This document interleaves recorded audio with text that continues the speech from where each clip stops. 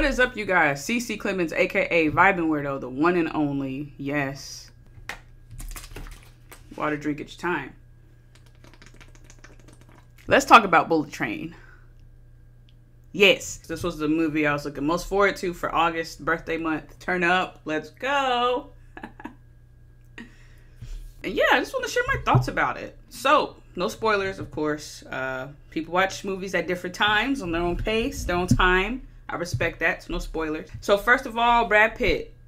All right, I've never been a huge Brad Pitt fan. Um, just growing up, I just never, you know, didn't care much for the movies that he was in as I was growing up. But Brad Pitt, he plays a character called Ladybug. The whole thing with him is he's like an unlucky assassin. So he's an assassin, but he tries to do things as peacefully as possible. Um, yeah, that is is as possible as you can with being an assassin. Crazy. He's unlucky. It's like this whole thing about how he's unlucky, but he still seems to like make it out of situations. So as he's trying to do things peacefully, he's on a mission that puts him in a position where that's not the case. It's not going to be peaceful, and you're going to have to get ratchet and destruction domination.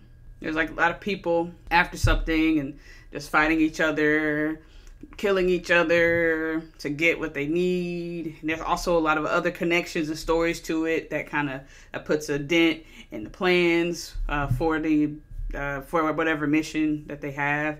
And then all of this is taking place on the train for the most part. So I'm not I'm going to be honest, I was really excited just from the trailer. I was really looking forward to it. I must say the critics, they got this one wrong. They bashed this movie. I watched a review from someone I, I, I followed for years. Like she was trash in the movie. Like it was just so bad, and I was like, I'm still watching it. Reviews don't stop me. If I want to watch a movie, I'm gonna watch it. Period. And I'm so glad I did because I had a very different takeaway from it. Was it perfect? No. Could it have been better? Of course, like almost every movie ever. But it was a really fun movie. I had a blast watching it. Like, I'm watching it and just like laughing, smiling, like having a great time. It was a very fun watch. Um, the movie's like two hours long, some change.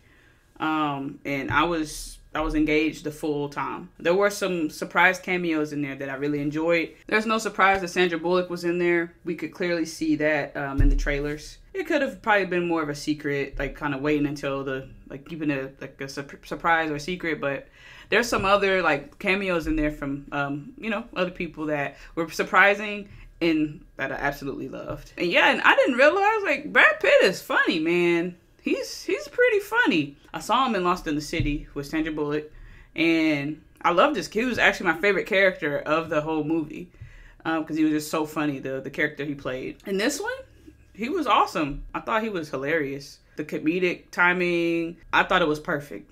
Like there would be, and some people, there was only a few other people in the theaters. Um, but some people didn't catch it, but I caught all of it. Like all the little nuances, all the little lines, the comedic timing with stuff, or just inserting things here and there. It was hilarious to me. I, I loved it. Some of it, when the man I've been like, ha ha ha, that's ridiculous and pathetic if you're laughing like that to everything.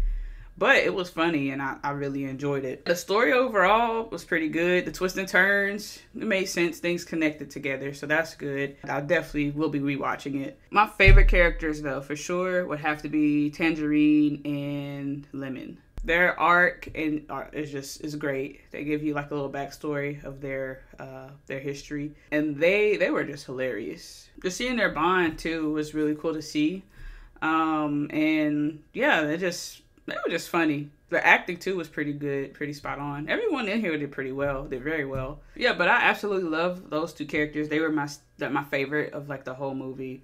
I loved it. Like I left out like, man, that was fun. That's that's how I felt. So if you're gonna ask me, was it perfect? No, right? I'm not gonna like act like it was perfect.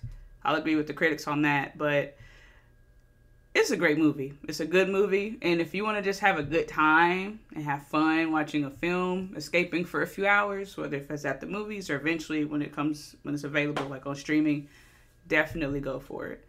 Um, do not let the critics steer you wrong on this one. Watch it for yourself and see how you feel about it. I do that with all my movies, and 90% of the time, I'll say 90% of the time when I've watched a movie that critics have bashed, I've enjoyed or I've liked at least. Like, it wasn't that bad, or this was great or this was cool. It's not as bad as they set it out to be.